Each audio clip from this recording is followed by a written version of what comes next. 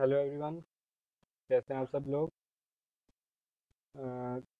आज आपको जैसे मैंने पिछली वीडियो में बोला था, आज हम आपके लिए एमसीक्यू लाएँगे तो एमसीक्यू की वीडियो ये रही आपके पास।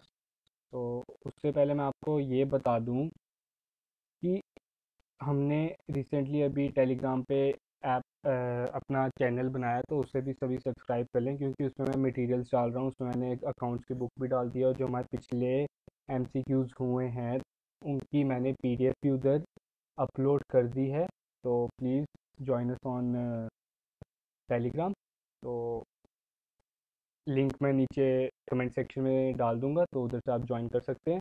तो अगर पॉसिबल हो सका तो हम उसके लिए आपके लिए क्विज़ भी लेके आएँगे। अगर सब्सक्राइबर थोड़े ज़्यादा हो जाते हैं at the end after completing the whole syllabus of accounts ठीक है? तो चलो आज का हम टॉपिक स्टार्ट करते हैं, जो है एमसीक्यू पार्ट नंबर थ्री तो देखते हैं क्या बोलता है। हमारा थर्ड आईपीएल मैच भी बोल सकते हैं इसे आप। तो देखते हैं क्या बोलता है ये। पहला क्वेश्चन बोल रहा है the long term assets that have no physical अब नॉन कॉमर्स वाले स्टूडेंट्स भी इसका मीनिंग तो जानते होंगे। नो फ़िज़िकल एग्जिस्टेंस जो फ़िज़िकल मतलब देख, जिसकी जिसको आप देख नहीं सकते, एक तरह का आप उसको यही बोल सकते हो ना नो फ़िज़िकल एग्जिस्टेंस उसकी कोई फ़िज़िकल एग्जिस्टेंस ही नहीं है बट पोजेसिस ए वैल्यू लेकिन उसकी कुछ वैल्यूज़ हैं तो उसको हम क्या बोलते हैं? उसको हम बोलते हैं current asset fixed asset intangible asset की इन्वेस्टमेंट अब ये इंटेंजिबल का मीनिंग ही वो है। इंटेंजिबल का मीनिंग ही क्या है? नो फ़िज़िकल एक्सिस्टेंस जिससे आप देख नहीं सकते, जिससे आप टच नहीं कर सकते। तो ऑब्वियसली बात है, इसका आंसर भी क्या होगा? Intangible assets is your answer ठीक है? इसका आंसर है इंटेंजिबल एसेट तो इसे नोट डाउन कर लें। अब इंटेंजिबल एसेट्स कौन कौन से हैं, जिसे आप देख नहीं सकते, लेकिन उसकी अपनी वैल्यू है। पहला आपका आता है पेटेंट नाम सुना होगा पेटेंट हमने इसके पेटेंट राइट्स लिए हुए हैं, है ना? मतलब आपने जब कुछ इन्वेंट किया है कुछ डिस्कवर किया है तो आप उसके गवर्नमेंट को अप्लाई करते हो अपने पेटेंट राइट्स पाने के लिए ठीक है? तो ताकि वो आ, दूसरा बंदा वो चीज़ प्रोड्यूस ना कर सके। फिर पेटेंट के बाद आपका आता है ट्रेडमार्क ट्रेडमार्क मतलब आपका साइन और कोई यूज़ ना कर ले ठीक है? ये सारे आप असली में देख नहीं सकते लेकिन इनकी अपनी वैल्यू है। है ना वैल्यू अब मैं क्या करता हूँ अपने इंस्टीट्यूट के बाहर कल से पहलवान की साइन लगा देता हूँ। बच्चे ज़्यादा आ जाएँगे मेरे पास। देखेंगे अच्छा पहलवान इंस्टीट्यूट भी खोल लिया तो मैं उनका ट्रेडमार्क यूज़ नहीं कर सकता ना। तो इसलिए ये सारे, इनकी फ़िज़िकल एग्जिस्टेंस नहीं है, लेकिन उनकी अपनी वैल्यू ज़रूर है। तो इसका आंसर है आपका इंटेंजिबल एसेट सेकेंड है आपका the asset that can be easily converted into cash within a short period of one year ये तो हमने फ़र्स्ट वीडियो से ही कर लिया हुआ है। It is called current asset जो आपका एक साल में ही पैसे में चेंज हो जाए, उसे हम क्या बोलते हैं? करंट एसेट ठीक है? ये तो ईजी था। अब थर्ड क्वेश्चन जो मैंने ऊपर ही समझाया copyright patent trademarks are intangible asset अभी मैंने ऊपर ही समझा दिया आपको, वो क्या है? इंटेंजिबल एसेट्स हैं, जिसे आप देख नहीं सकते, लेकिन उनकी अपनी वैल्यू है। ये चीज़ याद रखो, पूछ सकते हैं क्वेश्चन में, पूछ सकते हैं आपसे पेपर में। Net profit is computed net profit आपने कब कंप्यूट किया था? हमने निकाला था ना नेट प्रॉफिट कितना आया था उस क्वेश्चन में नेट प्रॉफिट मुझे तो याद नहीं। पीछे आप वीडियो में देख सकते हो। जो भी आपका नेट प्रॉफिट आया था, हमने कौन से लेवल में, किसमें जाके हमने नेट प्रॉफिट ढूंढा था? बैलेंस शीट में नेट प्रॉफिट ढूंढा था आपने? नहीं भाई। बैलेंस शीट तो हमें फाइनेंशियल स्टेटस बताती है अपना। हमने ट्रायल बैलेंस में ढूंढा था। ट्रायल बैलेंस में तो हमारी वो स्टेटमेंट थी। हमने उसे ढूंढा था प्रॉफिट एंड लॉस अकाउंट में। तो इसका आंसर क्या है आपका? Profit and loss account hope कि वाला क्वेश्चन आपको समझ आएगा। सारे ये क्वेश्चन मैंने इजी डाले थे। घबराने वाले कोई क्वेश्चन नहीं था ऐसा। चलो आगे देखते हैं क्या है। तो फिफ्थ क्वेश्चन क्या बोल रहा है? If we take goods for own use अब मैंने थोड़ी सी स्टेटमेंट चेंज कर दी है। ये क्वेश्चन भी मैंने इसलिए पिछली वीडियो में डाले हैं। If we take goods for own use own use का मतलब पर्सनल यूज़ ओन यूज़ की जगह मैं पर्सनल यूज़ लिख सकता हूँ। जब भी पर्सनल यूज़ आ गया वर्ड समझ जाना ड्राइंग्स की बात हो रही है भाई। है ना? तो उसने क्या किया? आपके किराने की दुकान है। आपको लगी प्यास। आपने कोल्ड ड्रिंक निकाली, पी ली। तो उसमें क्या हुआ? आपने ड्राइंग्स कर ली। अब आपने क्या चीज़ निकाली? स्टॉक निकाला। अब मैंने आपको बोला जनरल एंट्री में कभी भी आपने स्टॉक वर्ड यूज़ नहीं करना। तो इसका मतलब ये एंट्री आपकी नहीं हो सकती। ये एंट्री आपकी नहीं हो सकती। तो इसमें मैंने आपको बताया था स्टॉक के लिए परचेज या सेल आता है। लेकिन इसमें आप सेल तो कर नहीं रहे। इसमें आपने क्या किया? परचेज से ही निकाल के आपने यूज़ किया। तो drawings account debit to purchase account fifth का आंसर क्या है? ए ठीक है? फिफ्थ का आंसर क्या है? ए सिक्स वन क्या बोल रहा है? If a trial balance total do not agree अच्छा भाई, मैंने तो आपको यही बताया था ट्रायल बैलेंस आपका अगर उसका टोटल अगर आपका इक्वल नहीं आएगा तो आपने क्या करना है? भाई साहब, हमने पीछे कोई गलती की है और गलती ढूंढनी है। लेकिन अब क्या होता है, इतनी बड़ी आप इतनी देर से संभाल रहे हो गलत इंसान गलतियाँ, गलतियों से ही सीखता है तो अकाउंटेंट से हो भी सकती है गलती। अब क्या हुआ, उससे टोटल जो है, सही नहीं आया। मतलब debit is equal to credit उसका नहीं आया। तो अब हम क्या करते हैं, एक अकाउंट बनाते हैं। एक हम क्या बनाते हैं? अकाउंट बनाते हैं। उस उस अकाउंट, उस डिफरेंस को, ठीक है? उस डिफरेंस के लिए हम एक अकाउंट बनाते हैं। उस अकाउंट को हम क्या बोलेंगे? Profit and loss account? नहीं। Nominal account? नहीं। Capital account? नहीं। It is suspense account. Suspense account. Word से पता चल रहा है, सस्पेंस। सस्पेंस बना हुआ। देखो कहाँ पे जाके गलती की है। वो बेचारा अकाउंटेंट रात भर बैठा रहेगा, ढूंढेगा कि कहाँ मैंने गलती की है। फिर उस सस्पेंस अकाउंट को हटाकर उस अकाउंट की वैल्यू डाल देगा। ठीक है?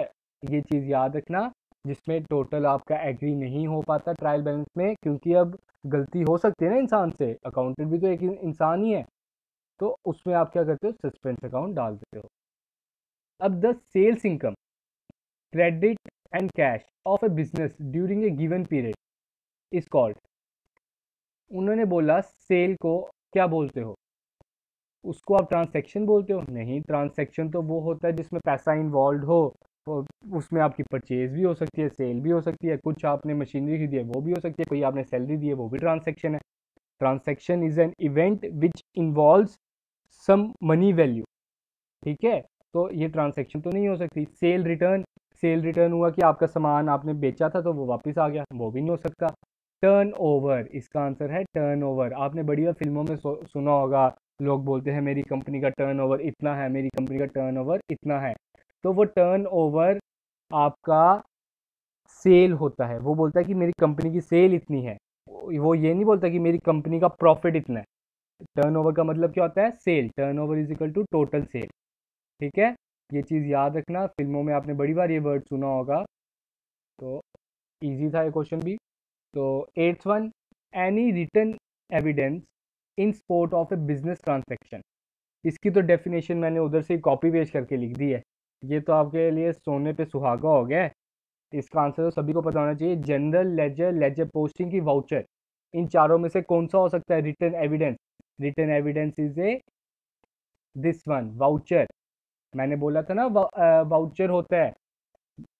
वाउचर आपके पास कोई रिटर्न एविडेंस होना चाहिए। अगर आपके ऊपर इनकम टैक्स की रेट पड़ जाए तो वो आपसे पूछेंगे कि आप, आपसे एविडेंस मांगेंगे। आपकी जनरल आपने जनरल एंट्री तो की है तो ये जनरल एंट्री किसको देख के की है? तो वो आप उधर वाउचर दिखाते हो। तो आगे देखते हैं। आगे क्या नाइन्थ क्वेश्चन में? रियल अकाउंट रिकॉर्ड मैंने वैसे सारे क्वेश्चन इजी डाले हैं। तो real account record real account क्या रिकॉर्ड करता है? Dealing with credits creditor and debtors credit और डेटर्स क्या हो गए पर्सनल है ना? क्रेडिटर की कोई इंसान ही हो गया डेटर भी कोई इंसान ही हो गया तो वो पर्सनल अकाउंट हुआ।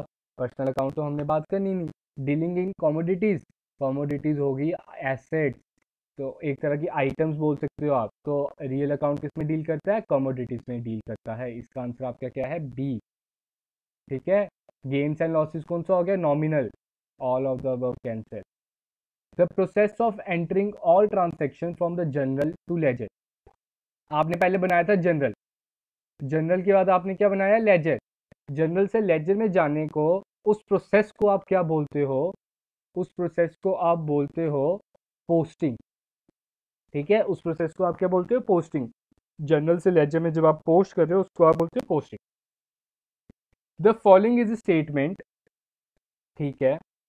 Showing the financial status of the company at any given time अभी मैंने पीछे शायद थोड़ा सा बोल दिया था, जब मैंने पढ़ाया था, तब भी बड़ी बार बोल चुका हूँ।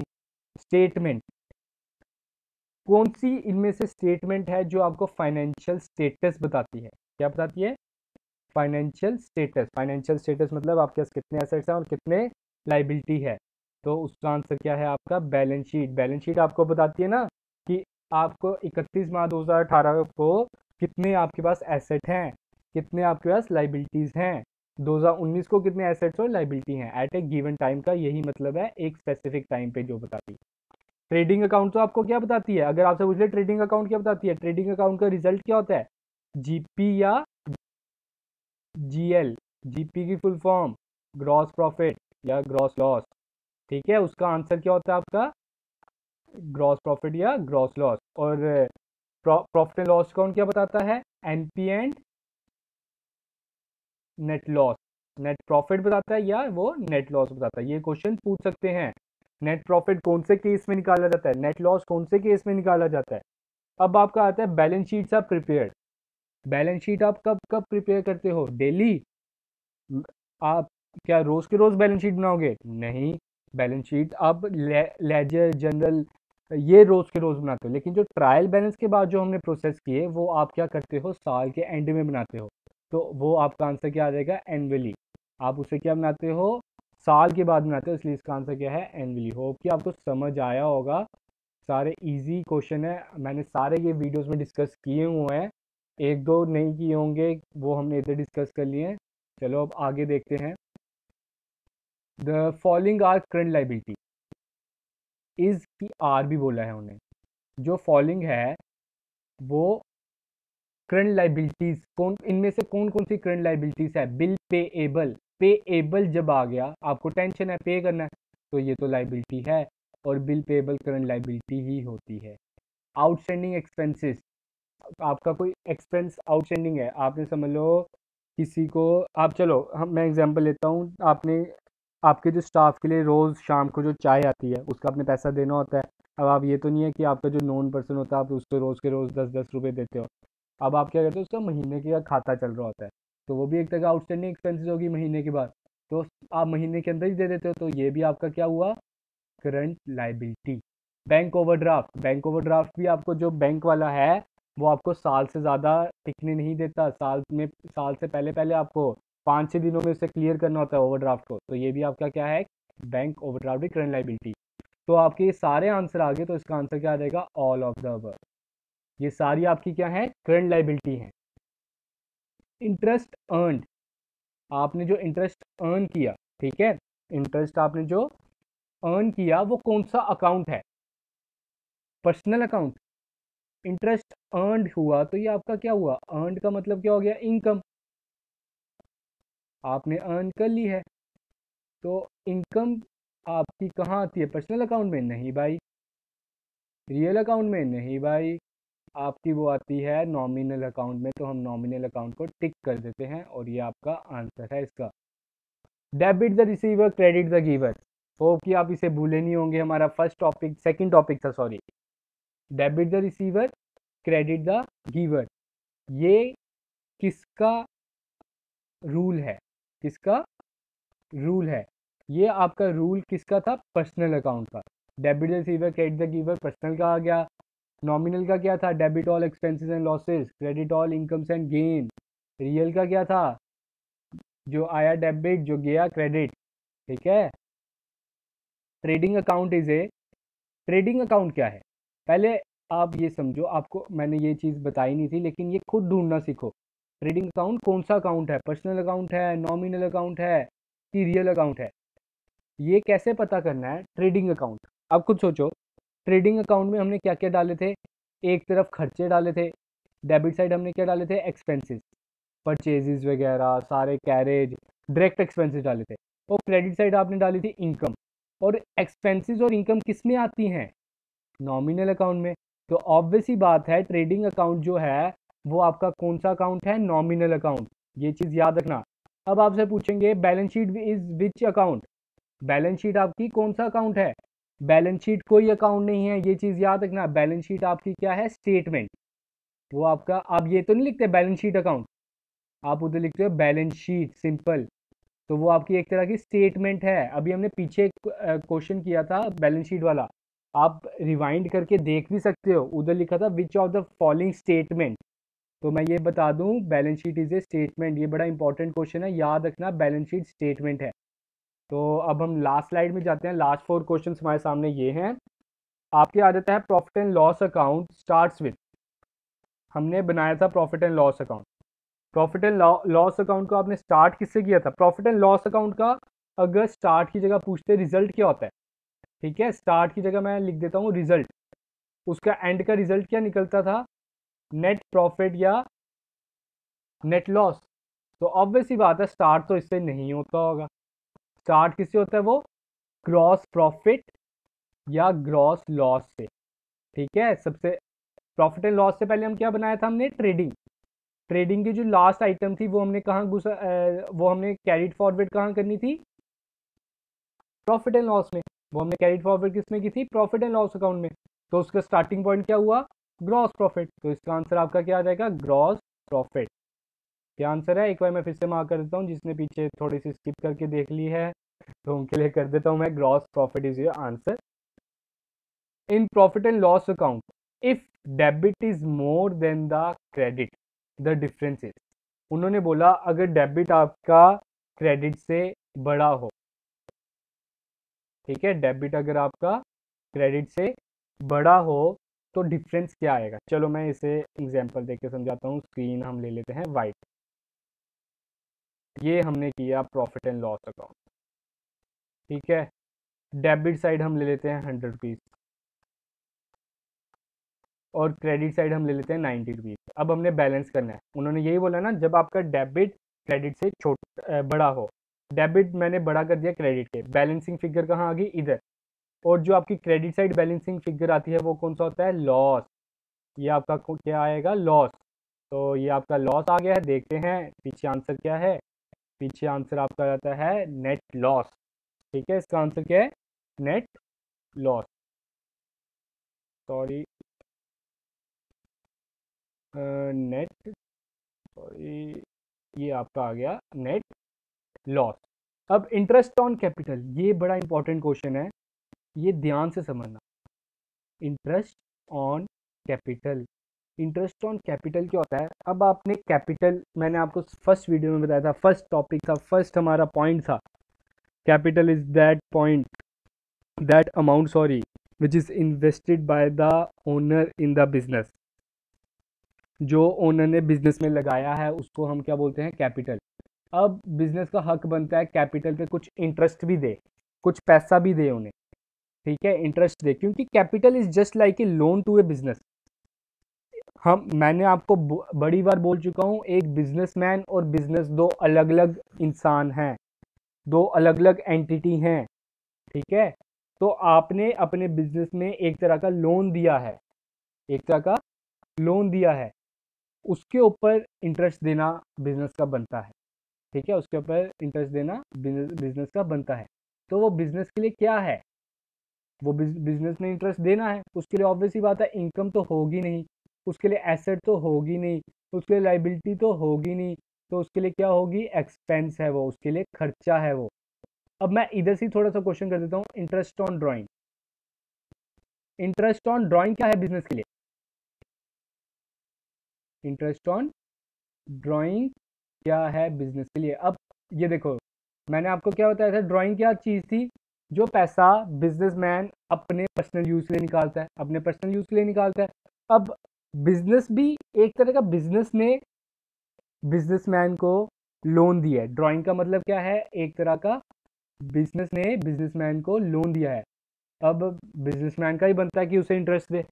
तो अब इसमें इंटरेस्ट क्या हो रहा है? बिज़नेस को मिल रहा है। तो इंटरेस्ट ऑन ड्राइंग में आपकी इनकम है ये। Interest on drawing is a income to a business. ये चीज़ भी याद रखना, आपको क्वेश्चन में चेंजेस ला सकते हैं। बिज़नेस की जगह बिजनेसमैन भी लिख सकते हैं। तो इस हिसाब से आप टैकल कर लेना उस क्वेश्चन को, ठीक है? तो हमारा आज का लास्ट क्वेश्चन लास्ट क्वेश्चन देखते हैं profit on sale of the fix asset profit on the sale of the fix asset profit word का हो गया मतलब गेन तो इससे हमें पता चलता है, या तो ये आंसर है, या तो ये आंसर है, ठीक है? तो non trading gain is your answer non trading gain क्यों है? ये आपका ट्रेडिंग गेन इसलिए नहीं है। ट्रेडिंग गेन वो होते हैं ट्रेडिंग गेन वो होते हैं जिसमें आप व्यापार करते हो, जिसमें आप डील करते हो। जो गुड्स में आप डील करते हो, उसके ऊपर जो प्रॉफिट होता है, उसको आप बोलते हो ट्रेडिंग लेकिन आप इसमें थोड़ी डील करते हो फिक्स एसेट्स आप बेचने थोड़ी आए हो। अब तो आपकी ऑब्वियसली बात है कि वो फिक्स एसेट थोड़ा सा ख़राब हो गया होगा, इसलिए आपने बेच बेच रहे हो। लेकिन फिर भी उसके ऊपर थोड़ा प्रॉफिट हो गया। उसके ऊपर जो प्रॉफिट हो गया तो वो आपका क्या हो गया? नॉन ट्रेडिंग तो अगर नॉन ट्रेडिंग हो गया तो ये कहाँ पे आएगा? N P sorry profit and loss account में। नॉन ट्रेडिंग सारे आपके कहाँ पे प्रॉफिट एंड लॉस अकाउंट में। हमारा आज का लेक्चर यहाँ पे ही ख़त्म होता है। हमारे आज के M C Qs I P L match यहाँ पे ही ख़त्म होता है। होप कि आप सबने हमारी वीडियोस लाइक की होंगी, अच्छी लगी होंगी आपको वीडियोस को। और उससे प्लीज़ कमेंट सेक्शन में लिखें और शेयर सब्सक्राइब कीजिए। और एक बार मैं फिर से बता देता हूँ, हमने टेलीग्राम पेज बनाया है आई जी कॉमर्स क्लासेस के नाम से, आप हमें उधर ज्वाइन कर लें। हम उधर आपको सारा मटेरियल प्रोवाइड करने की कोशिश करेंगे जो जो मुझे मिलेगा मैं आपको उधर दे दूँगा। इन वीडियोस की आपको पीडीएफ भी मैं उधर डाल दूँगा। और प्लीज़ अपने फ्रेंड्स को भी बोलें, उसे सब्सक्राइब कर लें। अगर तो मुझे रिस्पॉन्स अच्छा मिला उधर तो मैं कोशिश करूँगा कि उधर क्विज़ ऑर्गेनाइज़ करूँ। ठीक है? Thank you and have a good day